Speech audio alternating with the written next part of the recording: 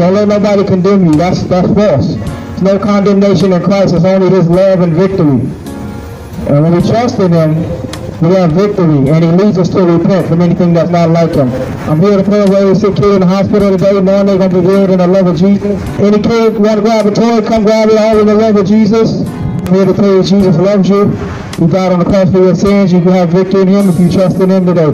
God bless you guys. God bless you. The Bible says, if, if the Son shall make you free, you shall be free indeed. That means no condemnation. You feel me? None. None at all. So don't feel like you don't measure up. Nobody measures up. Not the bishop, not the pastor, nobody measures up. We all got to stand before the judgment seat of Christ.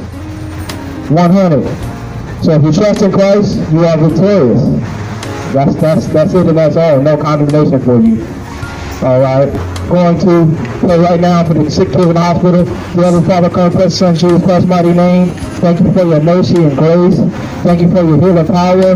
Right now, I lift my hands to every child in the hospital that's sick that they will be healed in your name. Say anything we ask in your name, it will be done. And you are the same yesterday, today, and forever. And I believe in your healing power. You said, these signs shall follow those that believe that we shall lay our hands on the sick and they shall recover. And if we speak a word in faith, it shall be done. It shall be established. Whatever we bind on earth shall be bound in heaven. Whatever we loose on earth shall be loose in heaven. And we trust in you, Lord, that every sick kid will be healed today. In Jesus' name we pray. Amen. Praise God. Every sick kid in the hospital will be healed today. Praise Jesus. Once again, my name is Christ Handles, because Christ handles everything.